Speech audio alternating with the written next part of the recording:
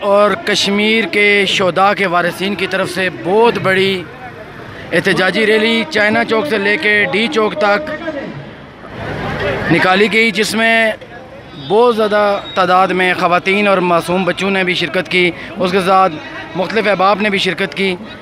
News alert اسلام آباد۔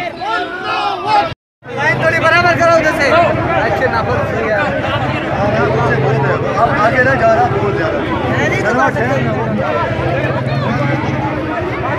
فائدہ فائدہ یہ بار بار لائن پر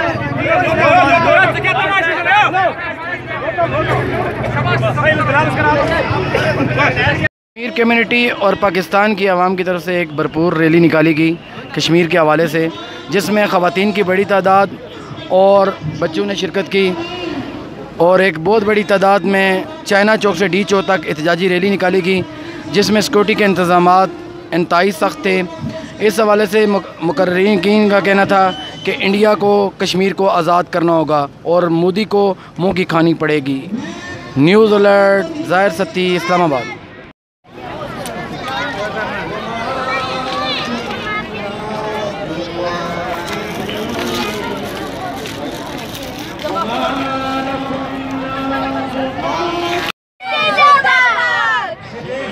کے لیے آئے ہیں اپنی کشمیر کی آزادی کے لیے آئے ہیں اور ان شاء اللہ تعالی ہم کشمیر کو آزاد کر کے رہیں گے اور مودی کا منہ توڑ جواب دیں گے۔